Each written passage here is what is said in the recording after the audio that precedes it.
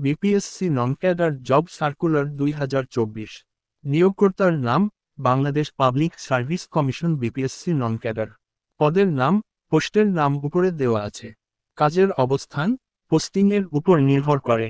Post বিভাগ সাতাশ plus শূন্য আট। মোট শূন্য পদ, দুই হাজার পাঁচশো সাতানব্বই প্লাস সাতাশ সমান দুই ছয় চার দুইটি পদ। কাজের ধরন ফুল টাইম চাকরির শ্রেণি, সরকারি চাকরি।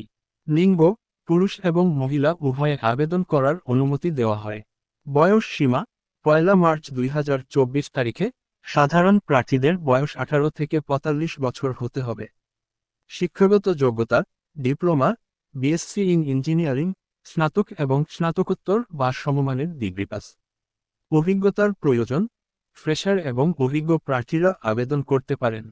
জেলা, বিপিএসসি নন ক্যাডার চাকরির বিজ্ঞপ্তির চিত্র দেখুন।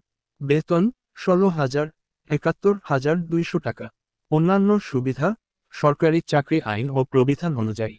আবেদন ফি, পাঁচশো এবং ছয়শো টাকা। সূত্র, অফিসিয়াল ওয়েবসাইট।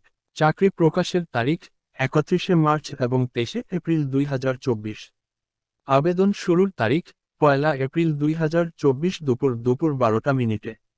আবেদনের শেষ তারিখ, ত্রিশে এপ্রিল এবং সাতই মে দুই হাজার চব্বিশ সন্ধ্যা সকাল ছয়টায়। চাকরির সকল বিষয়ে আপডেট পেতে সাবস্ক্রাইবও করে সাথে থাকুন ধন্যবাদ।